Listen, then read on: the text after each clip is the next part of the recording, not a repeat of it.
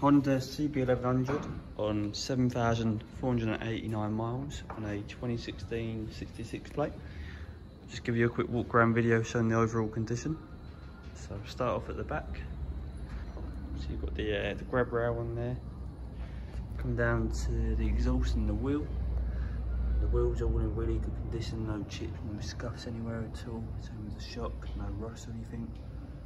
There is a slight crease just on the exhaust there. No scuffs anything elsewhere at all. Down there at all. And the engine bar is a tiny, tiny little scuff. Just on the engine bar there. Moving up to the engine, there is a bit of paint pitting now on the engine. Uh, just on the cylinder head there.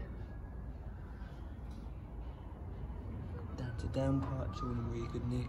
And the little um, little guard there.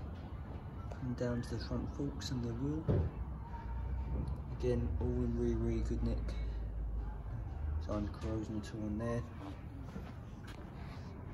Got the aftermarket windshield on there.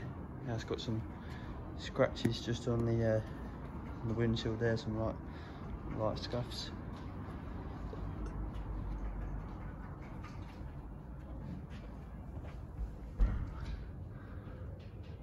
Down again, in really good nick the wheel.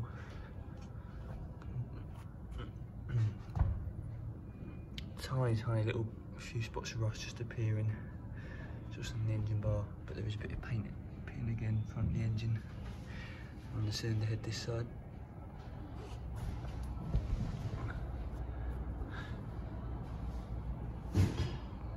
Coming down to this side of the wheel, in the shock, tiny bit of paint just rubbed off on that bit of shock there. Change sprockets and wheel in really good nick. Moving up to the tank. No scuffs or anything. Nice bit of pinstriping going on as well. Show you the dash again.